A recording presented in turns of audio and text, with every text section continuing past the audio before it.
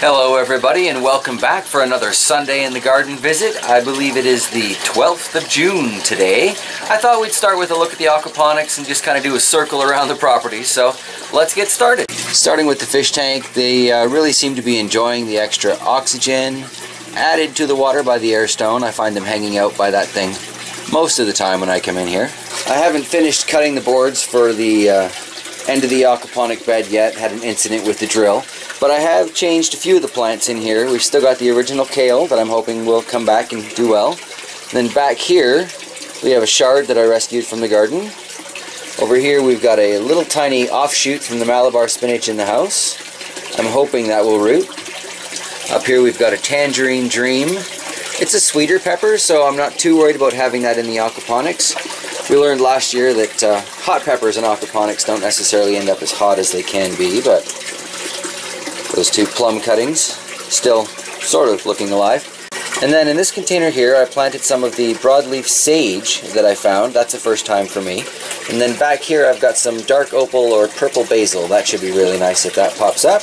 Just kind of using those plum cuttings to create a little shade over the seeds while they're first sprouting up.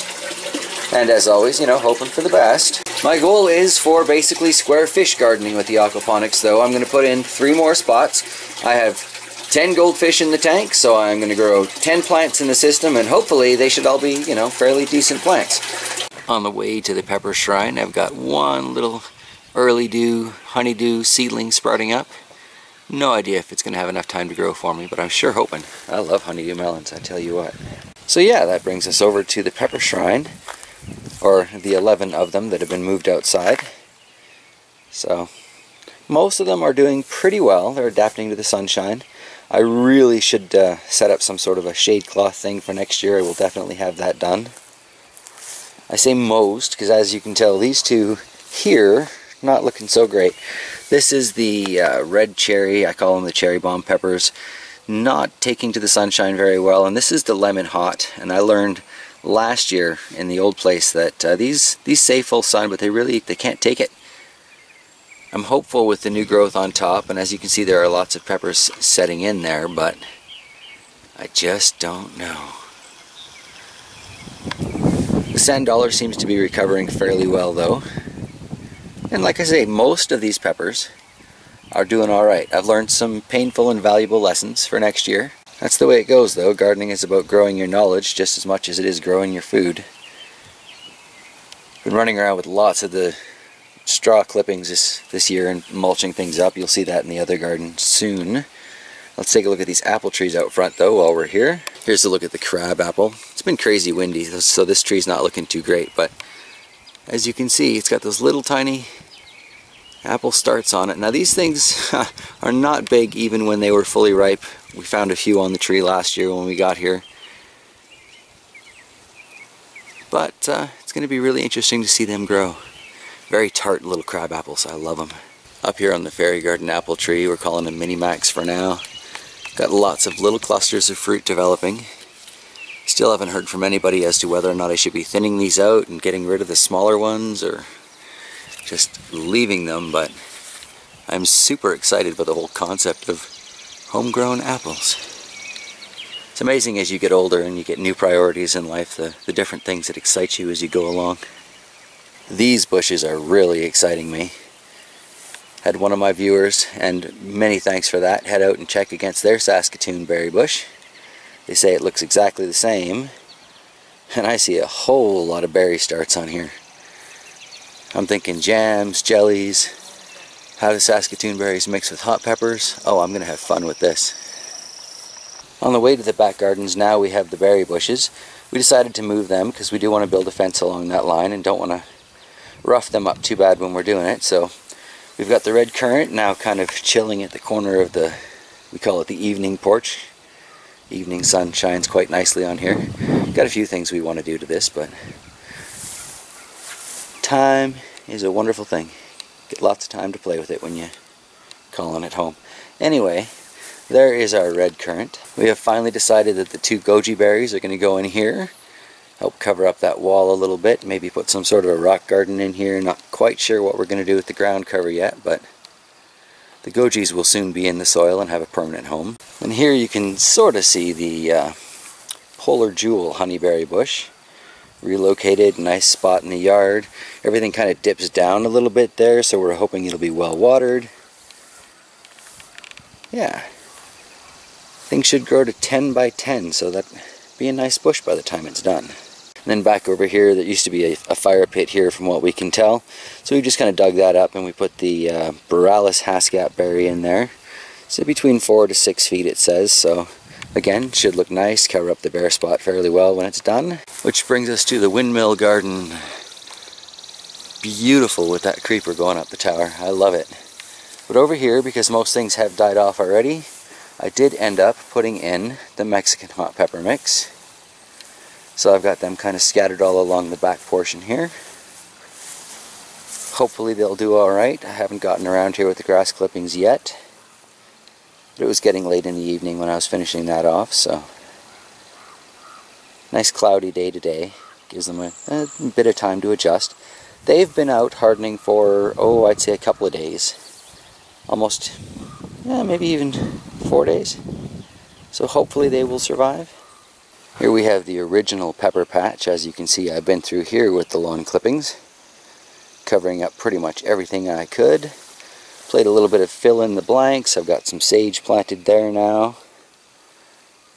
And along the back, I've got the red Thai chili that was part of the shrine, and I've got the fatali that was part of the shrine, just to add some life here. But there are a few things, a few different varieties that seem to have survived. Again, valuable lessons learned. I'll take a much better go at it next year.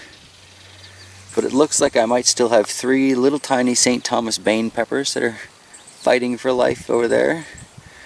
Looks like I've still got two of those darn good peppers Tracy sent me, so finally get a chance to try those. That's exciting. A few of the sweet heats made it, and Uh, I see a banana pepper, a couple of banana peppers, golden Wonder. Won't really know until I start to see some fruit. But it'll be interesting. The tomato plot behind it, I finally filled up the back. Still stubbornly hanging on for those two cucumbers, but not exactly counting my, my chickens there. But here we can see a few of the tomatoes are doing alright. Again, I've been in here with the lawn clippings. They seem to like that. So that's good. Our prize is still this blood ripple from Rob Bob, and I'm pleased to say I have flower starts. That's fabulous. So I'm definitely going to try and save some seeds from this, since it's uh, clearly the sturdiest of the tomato plants that I planted this year. It'd be nice to have some growing next year. I did plant some replacement seedlings. It seemed to be sprouting there for the beefsteak, so that'll be nice. And I got the Cherokee purples in along the back of the tomato square. So here's to hoping they adjust. Then in this big area here, aside from that one Brussels sprout sticking up in the middle, these are the remainders of the Caribbean hot peppers. The ones not going into the experimental boxes came in to fill up the back patch. Had to fill it with something after we uh, stole the soil for the bunker garden. Let's go look at that next. I have to say I am as pleased as I am surprised with uh, how well this bunker garden seems to be growing along. I really wasn't expecting much of anything, so uh, seeing so much green in here, it's just blowing me away. But we finally got all four of the pumpkin varieties. I think those are the fairy tale, the sugar the pie. We've got one coming up in the Burgess, and those are the giant pumpkins, I think Atlantic Giant or something, I can't remember the specific name. But then these peas are all doing really well, the beans are all doing really well, the corn's doing really well. One thing I have learned though is I don't think I put enough soil in this midsection here. It seems to be drying out really, really fast, so these beans aren't popping up quite as well. But again, you'll notice I've been in here with the grass clippings, covering it all up, trying to save that moisture. And it does seem to be making a difference. So, quite curious to see how this bunker garden grows along as the years go by. It's only going to get more compost in it. In theory, it should get better every year. So behind the bunker garden we've got the spruce bed here, or that of it I uncovered from the weeds. This first section, not really doing all that great. Do have a couple of sunflowers that are trying to pop up, but that's about it. Doesn't really look like too many of the peppers in that section made it. Got a few peppers in the next section that seem to be stubbornly struggling along. I don't know how well this one's showing up, but it seems to be producing some true leaves there. This little guy here's got some true leaves. Need to come through here and weed, but if we look at the next section of the squash and the sunflowers, these guys are doing great. Plenty of squash starts there. Lots of strong sunflower starts along the back. Very exciting. And the El Jefe peppers over here seem to be doing alright as well. I saw four the other day. So as you can see, that's one of the strongest peppers out here. The El Jefe is doing really well in this environment. I think basically with all of these seedling peppers, I, I transplanted them way too early. They should have had at least two or three sets of leaves. I read somewhere they should have five sets of leaves before you bring your peppers out.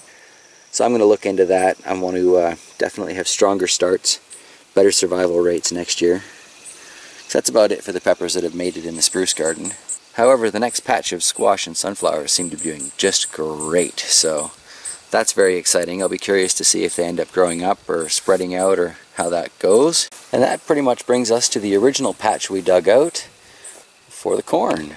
Again, you can see I've been through there with the lawn clippings, but the corn to me is looking great. Got nothing to, to base my opinion on because I've never really grown corn before, but Nice neat little rows, all standing up pretty straight. I took some time the other day, planted some cucumbers in those little areas along this first row of corn because those other cucumbers don't look like they're going to make it. So we'll see how those do with the corn stalk to climb up. Could be a good idea, could be a bad idea. Time will tell. In the two different spots that I've got peas going, I've put in some basic trellises. These are the snow peas. Look like they're doing the best, so quick little teepee with some string and three bits of bamboo. Hopefully they fill that thing up as time goes on. The carrots are definitely sprouting up beside them though. The beets are definitely sprouting. A little bit of a stray over there. The chard's doing alright. So this sort of screwed up square foot gardening thing seems to be working ish for me. Definitely room for improvement, but again, that's kind of what gardening is all about, is just getting better. As you can see, these beans along the back seem to be doing just fine. There's a, that's a Brussels sprout, I believe. We had some of this kale last night. That was fantastic. I really, really like the way kale seems to respond to growing here. And another Brussels sprout in the corner there, so yeah. It's the garden so far. I'm actually pretty, uh, pretty excited. Lost a lot of peppers, and that's, you know, not great, but lessons learned. Next year starts will be stronger. So it's exciting in its own way. Starting to look more like my yard though, gardens everywhere, as compared to buckets everywhere in the old place. But happiness is where you find it, you know, and I find it growing my own food. I go to the grocery store, I look at the prices on produce, and I just, I don't want to pay that. And then when you do pay that and you taste it, it's like, oh man, man so much better if I just grown it myself. So yeah, that is that is where I find my happiness. That and being out here in the middle of nowhere listening to all these birds while I'm trying to make my video. It's actually quite relaxing. So I hope you all have enjoyed the video today and uh, I have no idea what's coming up in the week ahead, but I will definitely see you next Sunday and hopefully the garden will be progressing quite nicely. So yeah, until then, have yourselves a fantastic week ahead everybody. I will see you then for sure. Bye.